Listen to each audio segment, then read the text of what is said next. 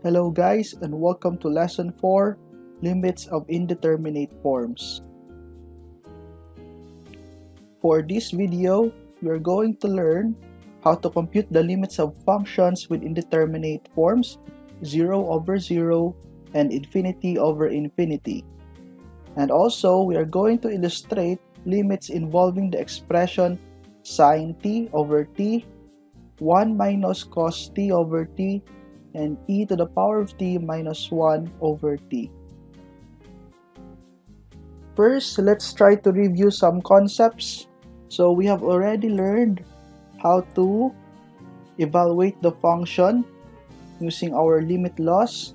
So this is the very basic on how to evaluate the function. So directly.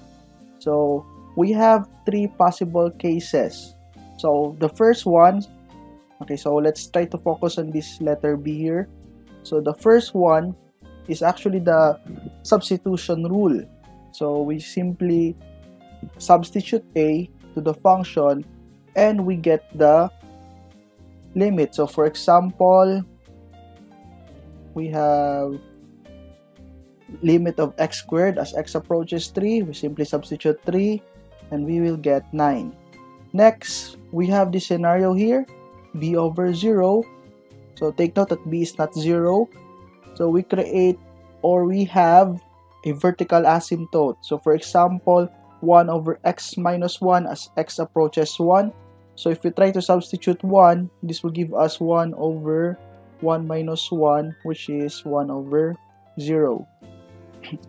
so in this scenario, x minus 1 okay so the denominator has x minus 1 so if we try to solve this we try to find the value of x which will make this function undefined that is x equals 1 okay and here x equals 1 this is again a a line a vertical line passing through the x-axis at x equals 1 so we are now going to focus on the third scenario what if our answer, when we try to substitute, we have 0 over 0 or some, some cases infinity over infinity. So we will get indeterminate form. Okay, so for example, this expression here. So if we try to substitute negative 1 to our values of x, this will give us 0 over 0.